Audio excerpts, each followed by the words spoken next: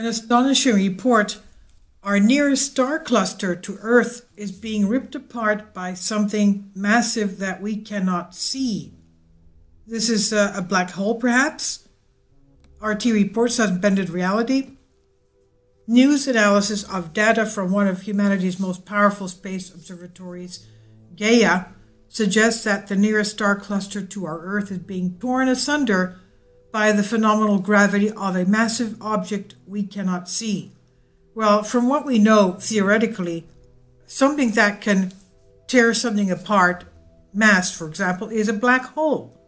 Now, astronomer Tereza Jerabkova and her colleagues from the European Space Agency and the European Southern Observatory poured over the information contained in Gaia data release 2.5 and DR3 the Gaia Space Observatory maps the Milky Way galaxy in three dimensions with the highest degree of detail that current generation technology will allow, with a view to pinpointing the position and velocity data of as many stars as possible.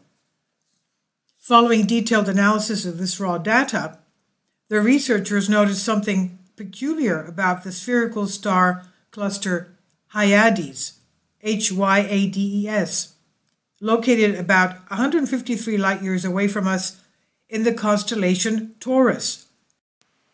Please support my Patreon channel since YouTube has again demonetized my YouTube channel. My Patreon channel will have five different videos from my YouTube channel every day. Thank you so much for your support and that you find all my content so interesting. You'll find the Patreon account details in the description box below. Recognizing some weird findings in the data, the team explained their search parameters, expanded the parameters to catch previously overlooked stars, and found hundreds of new stars.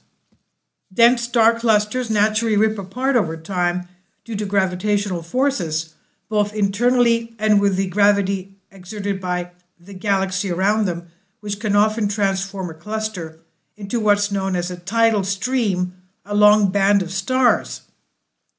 In Hyades' case, the central cluster measures some uh, 68 light years across, with a tidal tail stretching over thousands of light years.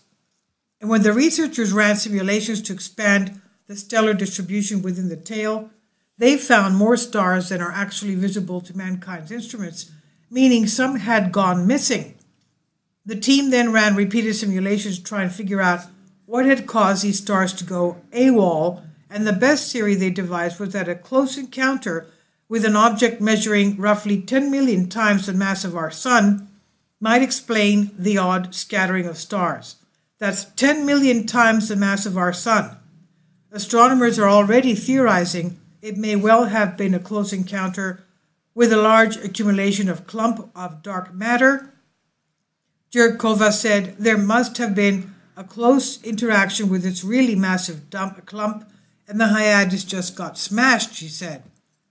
The dark matter hypothesis is always tricky as humanity cannot di- directly detect dark matter and can instead only infer its existence and uh, position by observing its influence on the universe around it.